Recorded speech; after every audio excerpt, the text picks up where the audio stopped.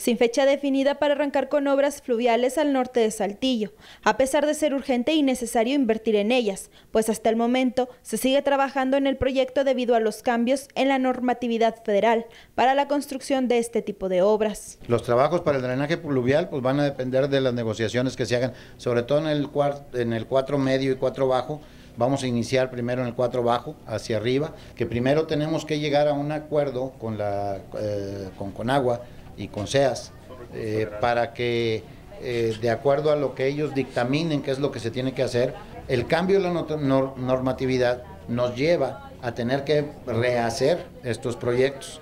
Entonces, pero al rehacerlos a 500 años, en una ciudad como Saltillo, lo que sucede es que se, se amplían demasiado ¿Por qué? Porque cuando llueve, llueve muchísimo, no hay nada muy constante y cuando no llueve, no llueve nada, ¿no? Entonces se tiene que considerar cada una de estas condiciones.